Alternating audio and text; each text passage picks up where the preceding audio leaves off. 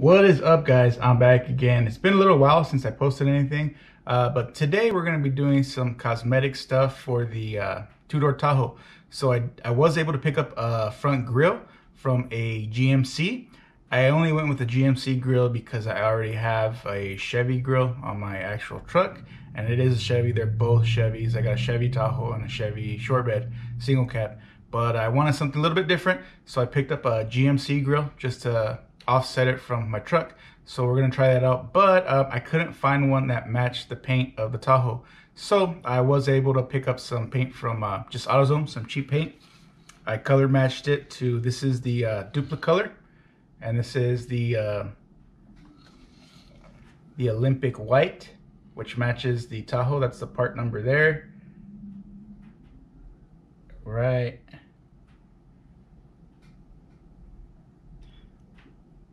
That would be the part number there. And that's the Duplicolor, the perfect match. And I also got some clear just to clear the front end of the grill. But we got to prep the grill, so we got to scuff it down and uh, shoot some primer on it, and then we're gonna shoot some white paint on it to make sure it sticks and see how it looks. So let's quit wasting time, let's get to it. Okay guys, we're gonna sand down and scuff this up, scuff down all the paint, because it is uh, original. It's an original grill, uh, but we're, we're not going to be taking out the insert of the GMC only because, let me flip this around. This grill is original and the way they install these, they actually insert them and melt the tabs there, there, all the way around. So in order for you to get this grill out, you actually have to break it out. Break it out and then there's kind of uh, you have to melt some more plastic to get it back in, which I'm not going to be doing that. I'm not going to be using this grill, but I don't want to destroy it either. So we're just going to work around it. I got some uh, some 320, 320 grit sandpaper and a scuffing pad. So we're going to use a little bit of water. And we're just going to try our best to avoid uh, avoid the grill.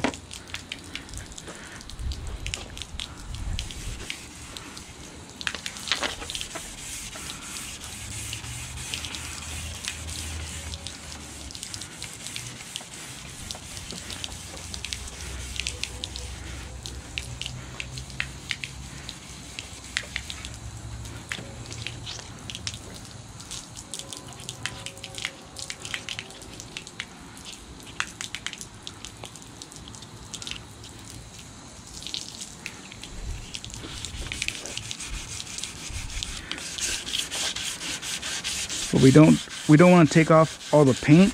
We just want to scuff it up to where uh, we get down to a nice paintable surface so.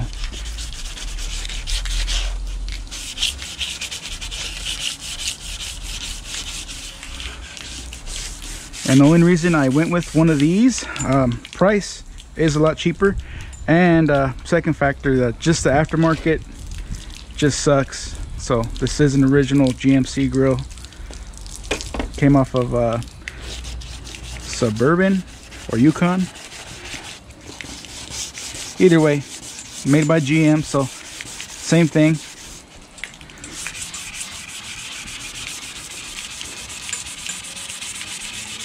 Like I said, just give it a quick uh, scuff. Don't got to get crazy with it, but definitely want to the new paint to stick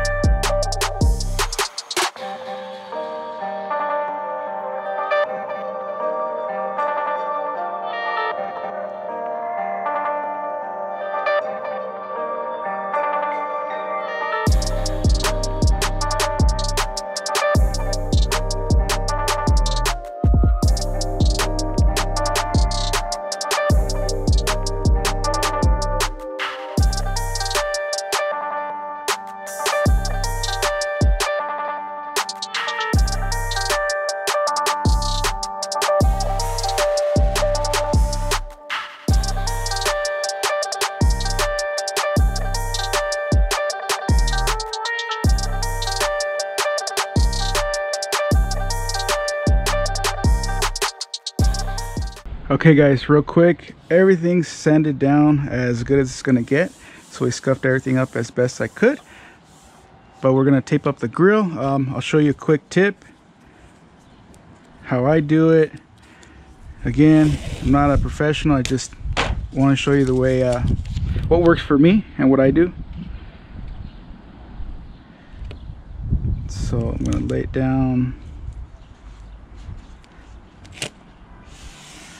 flat. And then we're gonna lift up this edge. And I'm just using a razor blade scraper from Harbor Freight. This actually fits in this little wedge perfect. So I'm just gonna smash it down in there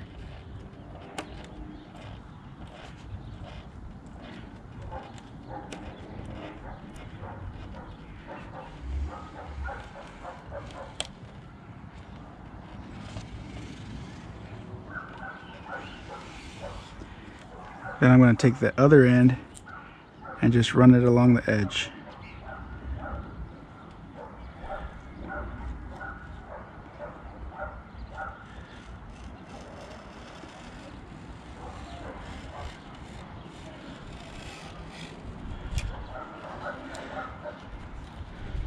Take off your tape and you should have a pretty straight line.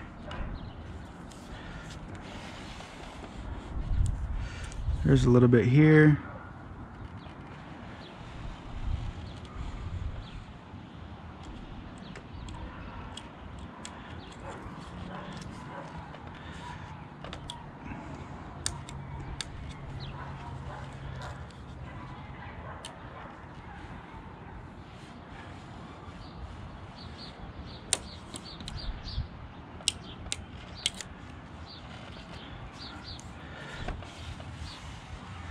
There you are.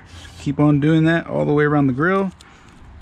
And then we'll put some paper or some more tape in the middle just to cover it up and we'll get painting on this thing.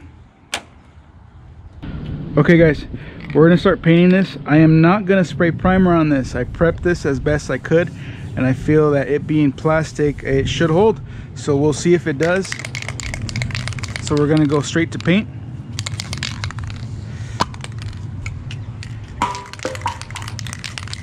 So we'll start with a very light coat.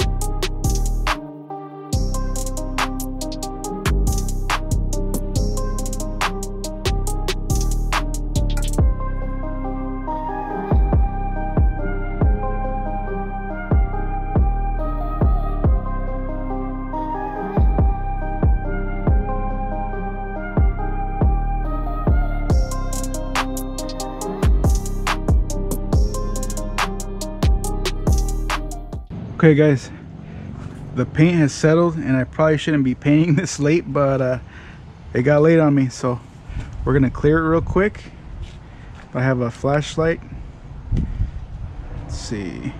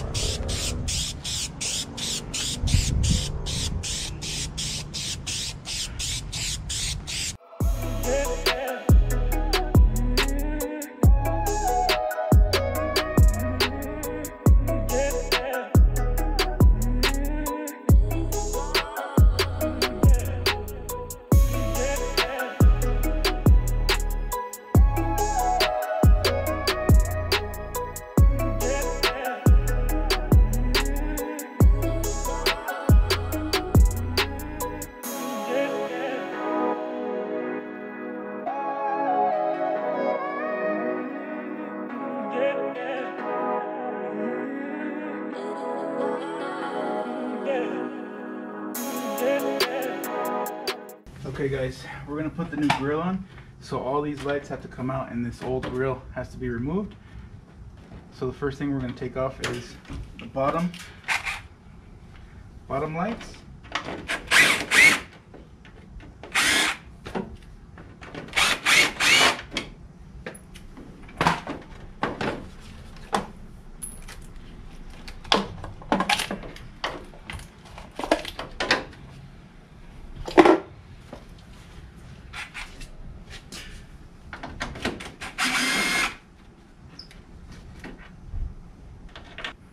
Okay, and typically we have uh, these series of bolts. So we should have one there, one there, one there. There is one there, and then one more in the grill, which is broken. So all those have to be removed. In my case, uh, one has to be removed. So let's get that.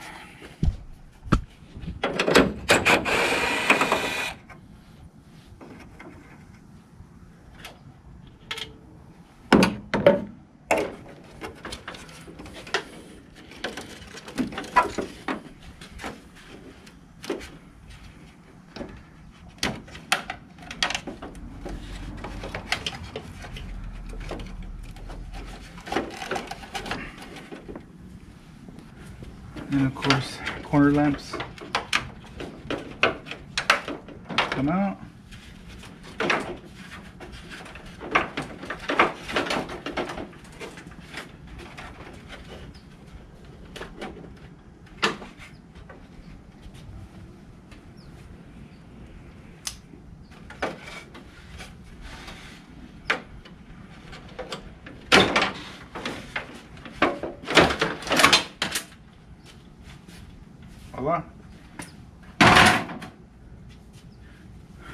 Grill is out, and then we have to be, uh, we have to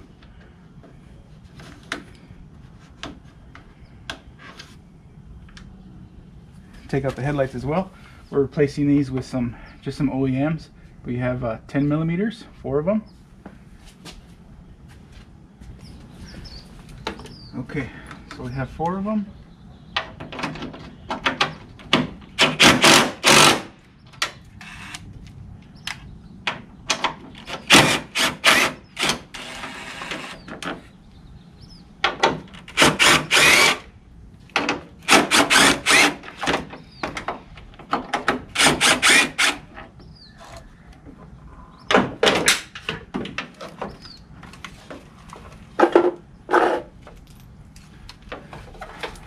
Okay, don't forget to unclip your bulbs.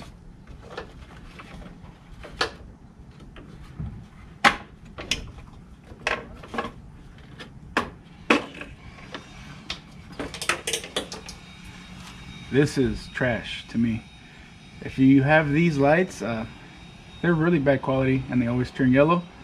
So uh, the reason I'm changing them is because they're super yellow and I just want some OEM lights again. So we got those. Okay guys, before these go back in, make sure you plug in all your clips.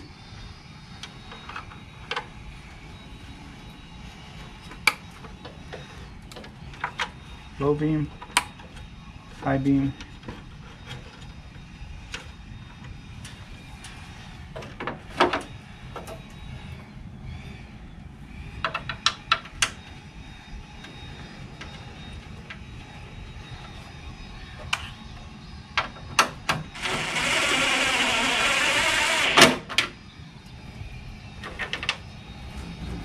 while your bolts go back in.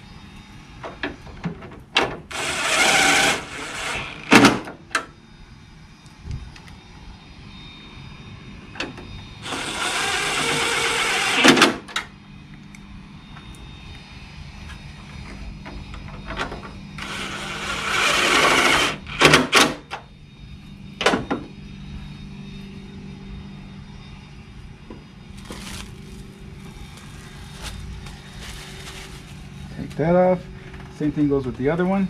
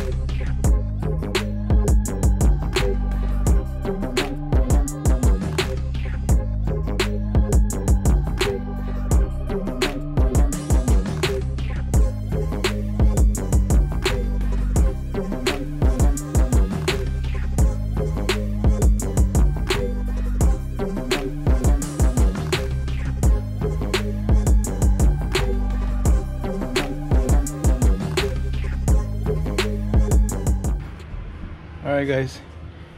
We finished that just in time. Sun's going down but uh gave the truck a whole different look. Let's check it out.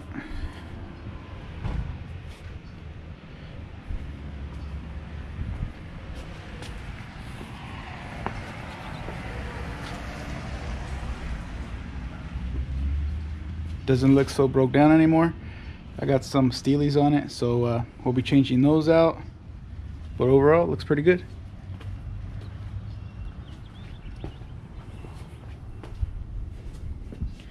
Still need to do some adjustments on the headlights.